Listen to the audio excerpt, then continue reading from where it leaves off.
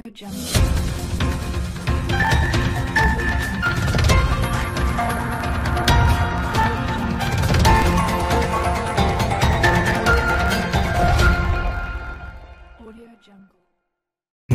आप सबका स्वागत है।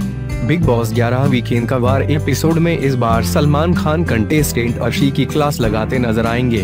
वे न सिर्फ़ अर्शी जमकर लताड़ लगाएँगे, बल्कि उनके द्वारा बोले गई बातों के हाइलाइट्स भी दिखाएँगे। दरअसल हाल ही में सभी कंटेस्टेंट को एक फैमिली लग्जरी टास्क दिया गया था, जिसमें एक एक कर सभी कंटेस्टेंट के पेरेंट्स घर में आए थे।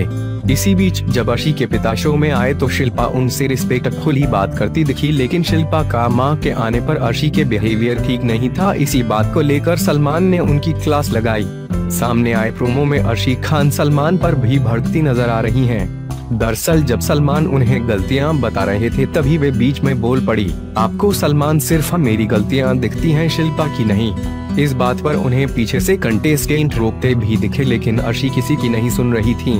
वीकेंड में टीवी एक्टर करण पटेल और करिश्मा तन्ना बिग बॉस में नज़र आएँगी, जहाँ करिश्मा विकास की क्लास लगाते हुए उन्हें थोड़ा दिमाग यूज़ करने को कहेंगी तो वहीं हिना को करण काफ़ी कुछ बुरा भला कहेंगे।